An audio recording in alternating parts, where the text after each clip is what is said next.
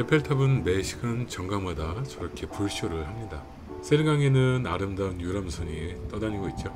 오늘은 파리에서의 마지막 밤이기 때문에 저 유람선을 타고 세르강을 둘러보는 투어를 할 예정입니다. 유람선을 타러 가는 도중에 저 인플루언서들인가 봅니다. 드레스를 장착하고 열심히 포즈를 취하고 있습니다. 역시 인플루언서가 되려면 저 정도 노력은 해야 되는 것 같습니다. 안녕하세요 여러분 남상스입니다. 지금 세느강 위에 서 있는 남상스입니다. 아니 또 걷고 있는데 저렇게 아름다운 프로포즈를 에펠탑 밑에서 하고 있습니다. 정말 기억에 남을 만한 프로포즈가 될 것 같습니다. 참 세느강 다리 위도 참 재밌죠. 다리 밑으로 내려가 보니까 벌써 유람선을 기다리려고 줄을 많이 서 있었습니다. 미리 예약을 했었는데 돈을 조금만 더 보태면 창가에 자리를 주는 것 같습니다. 어디서 뭘 하든지 간에 정말 자본주의가 들어가 있습니다. 여기 유람선도 마찬가지고요. 저렇게 자리를 안내를 해줍니다.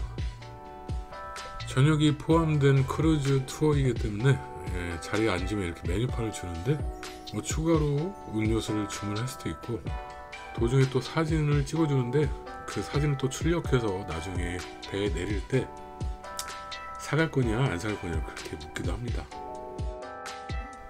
사람들이 배에 거의 탄 것 같습니다. 이제 세느강 투어를 시작합니다.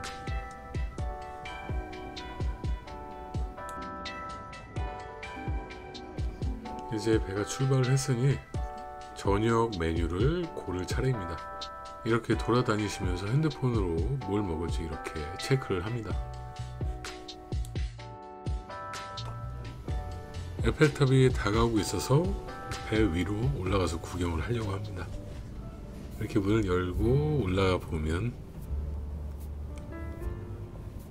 이렇게 의자도 있고 담배 피울 수 있는 공간도 있습니다. 그리고 그 앞에 저렇게 가까이서 에펠탑을 볼 수가 있습니다. 또 반짝반짝 거리기 시작합니다. 에펠탑은 1889년 파리 만국 박람회를 위해서 완성된 건축물인데 그 당시에는 흉물스럽고 추악한 철 구조물이라고 해서 많이 비난을 받았답니다. 그런 흉측스러운 건물이 이제는 프랑스를 먹여 살리고 있습니다. 정말 아이러니하죠. 어느 정도 세네강 구경을 하다 보면 이제 본격적으로 식사가 시작이 됩니다. 식전에 간단하게 나오는 빵과 그리고 샐러드 같은 것들이 있는데 솔직히 배 위에서 먹는 식사라 그래서 기대를 안 했는데 상당히 또 맛이 좋았습니다. 이 귀여운 바게트 빵도 뭐 맛은 나쁘진 않았습니다. 빵이 떨어지면 또 가득가득 또 채워서 자리에 가져다 주십니다. 식전 음식은 간단한 샐러드와 그 연어 요리가 제공이 됩니다. 맛은 무난하게 먹기 편한 그런 맛이었습니다. 그 여기 모두 계신 분들이 어, 무척이나 우아하고 차분한 분들이 많아서 그런지 상당히 정숙하게 식사를 하고 계셔서 편안한 식사 시간이었습니다. 저 멀리 이제 루브르 박물관이 보이죠. 저 뒤쪽에 거대한 피라미드처럼 생긴 음, 루브르 박물관이 있습니다. 아, 어릴 적에는 저 배를 누가 타나 그랬는데 슬슬 나이를 먹다 보니까 참 이렇게 배 타면서 식사를 하는 것도 나쁘지 않은 것 같습니다. 다음은 메인 요리인데 beef Wellington 스타일의 스테이크와 그리고 관자 요리 둘 중에 하나를 선택할 수 있습니다. 저는 beef Wellington 어, 스타일의 스테이크를 먹어봤는데 어우, 처음에는 beef Wellington인 줄 알고 좋아했다가 beef Wellington 스타일의 스테이크였습니다. 맛은 좋았습니다. 관자 요리도 무척 부드럽고 그리고 디저트도 나오는데 디저트는 뭐 치즈 케이크와 그 다음에 초콜릿 무스 케이크 이렇게 어, 둘 중에 하나를 선택할 수 있게 됩니다. 또 배에서 먹는 케이크의 맛이 또 무지무지 맛이 좋네요.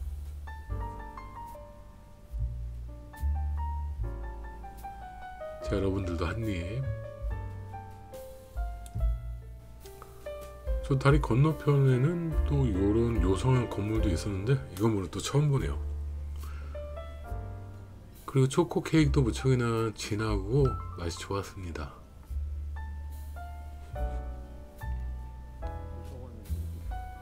맛있게 식사를 마쳤고 이제 배는 다시 에펠탑 쪽으로 향합니다. 이제 되돌아갈 때는 속도를 좀 내기 시작합니다.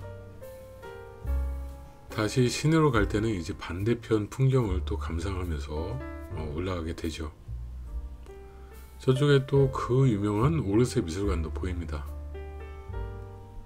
파리의 세느강은 이렇게 가까이에 건물들 관광지가 붙어 있어서 경치 구경하기 참 좋은 그런 코스인 것 같습니다.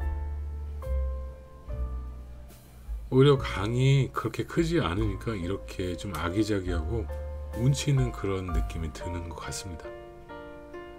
자, 입가심으로 커피를 주문했는데 이런 음료수 값은 어, 포함이 안돼 있기 때문에 따로 계산을 해야 됩니다.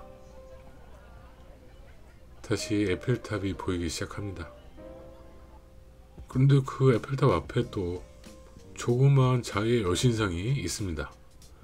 또 파리에도 자유의 여신상이 있는지 몰랐었는데 파리에서 보니 또 색다른 느낌이 드네요. 자 시내에 다시 도착을 했습니다. 거의 2시간이 넘어가는 투어이기 때문에 지하철을 타게 된다면 후다닥 뛰어가시는 걸 추천합니다. 세느강에서의 디너 크루즈 아 정말 멋진 풍경도 감상하고 맛있는 음식도 먹고 정말 기억에 남을 만한 그런 경험이었습니다. 오늘도 함께 해주셔서 감사드립니다 여러분 다음 시간에 또 뵙겠습니다.